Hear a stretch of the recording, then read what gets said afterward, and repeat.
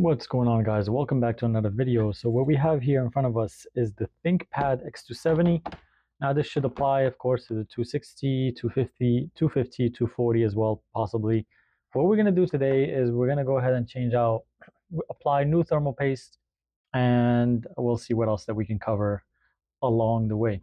So first thing we want to do is remove the battery in the back. There's these two tabs you want to pull and then you can slide your battery out and then there's a number of screws that we're going to remove. There's one, two, three, four, five, six, seven, and then one in the, not really the center, but one over here as well.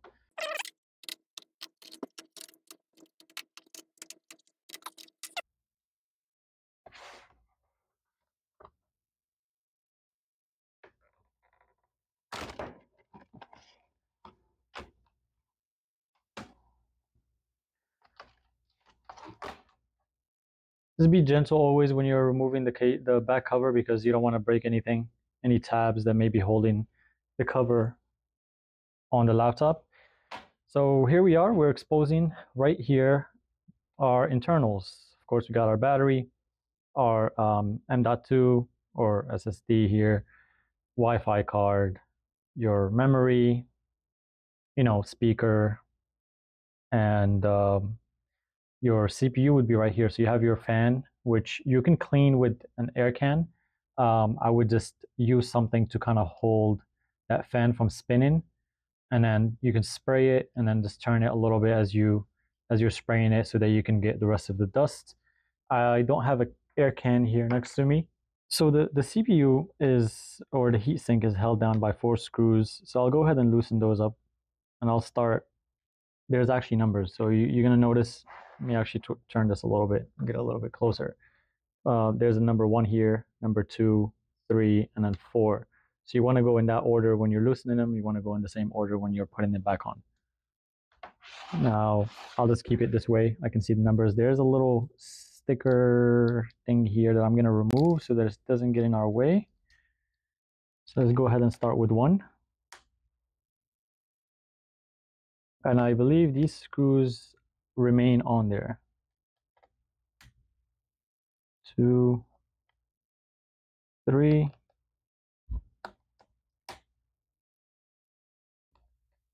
put a little bit pressure when you're turning it so you don't strip the screw. You're gonna hear a little click and then it'll come off. Now the fan module itself, um, I don't believe is held down by any screws um, but there is this cable that's tucked around here that you want to get out of the way. And there's another one over here as well. It's going to hold things down a little bit so um, but before you actually remove that fan module you want to remove the connection here. So I'm going to use this plastic thing here just to pry that up from this side, you're going to see a little um, tab and then this will come out just like so. And then you can just lift this out of the way. And as you can see here, there's um, there's going to be CPU, I mean thermal paste, sorry. There's going to be thermal paste on the heatsink and on the CPU itself. Let's go ahead and set our heatsink fan module on the side here. And normally what I would use is a cotton swab and some rubbing alcohol this is pretty much kind of similar, but I'm just going to use this microfiber towel here. And apply a little bit, and then I'm going to clean the thermal paste off of the CPU.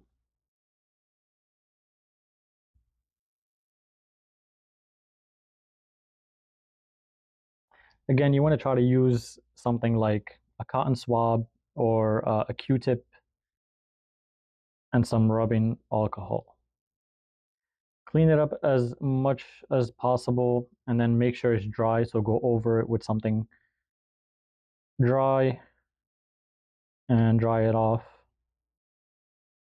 so that it looks like new.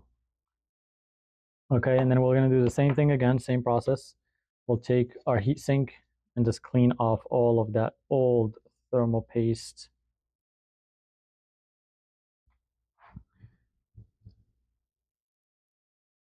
And again, I'm gonna use a dry side. Just make sure it's fully dry. Okay. Battery connection. Should have been first thing I did. So I missed that part. All right. Now, of course, before you do all this, make sure you do have some thermal grease or thermal paste. And what we're going to do is we're going to apply a little bit on both sides here. So give or take, let me see, hopefully I have a little bit left in here. About yay so.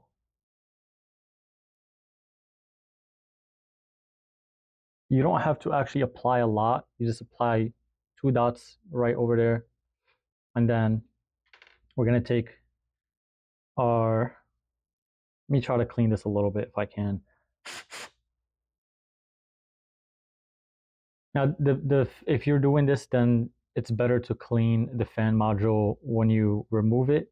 So you can blow on it, just hold it down when you blow on it.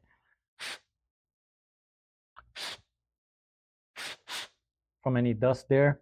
Um, because if you don't hold it down, it could cause the fan to malfunction as time goes. All right, so now to put everything back on, try to keep it as straight as possible. You don't want to keep wiggling it around um, um, as you put it down. So what I'm going to do, I don't have to worry about um, my fan module really. I'm going to align the screws with the screw holes as much as possible um, and just drop it down, straight down. Okay. And just so you know, you actually may have to hold those cables that were tucked in here so hold them away from where you're going to place your, your fan module. And uh, let's place that down. And then I'll go ahead and screw it in the same order. So number one. Now I'll just do it a little at a time. So one, two, three, four, and then I'll go back and I'll just tighten it fully. So one, two, I'll go, I'll do another pass again once, once I go through this. And now I'm just to do a final pass and I'm just to make sure it's tight. Just enough, you don't have to overdo it. Just until you don't feel it spinning. You don't want your your um your screwdriver bit to to strip the the the screw. So just do it enough. If you don't feel it tightening anymore, then you are good to go. So we'll go ahead and take those cables that were tucked in here. Let's put them back into position if I can. There's one and two.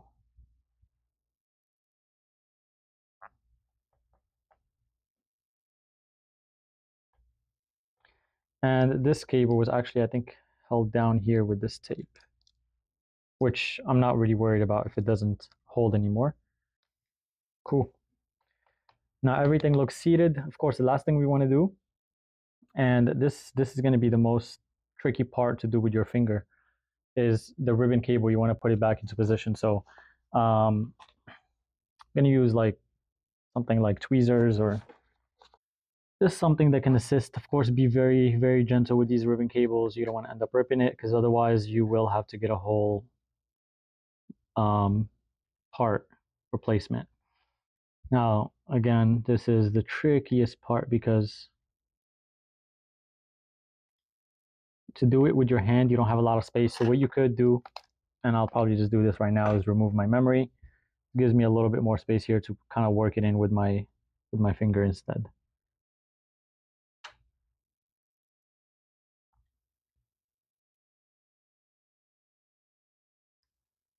And it doesn't really go in a lot. Um, just kind of hold it and then put this, push this little tab down, and then that's pretty much it. So there's two, I'm gonna go ahead and open it one more time just to show you guys. There's two lines, white lines, right? The, the, once you put it in and you put this tab back on, you'll only see one line visible, the other one is gonna be covered. Now, removing the memory is actually very, very helpful. I'm going to go ahead and slide my memory back on. And of course, to remove the memory is these two tabs. You want to pull them away from each other and then slide your memory out. To put it in, slide it in, push it down, clicks. And that is it. Now, all we got to do is make sure you don't forget your battery connection here. Put this back on. And we'll take our back cover and we'll put that back on. There's some clicking that happens here at the top, maybe the center, but just make sure that everything looks pretty flush. And before you actually screw everything back on, you want to go ahead and turn on your laptop and make sure that it's working. Um, I'm not sure if this one has any battery life. So try it out. This one does not have any battery life, but make sure that you um, go ahead and test it out. Make sure that everything is working before you go ahead and screw everything back on. Um, just to save yourself from having to unscrew everything again to see what's going on.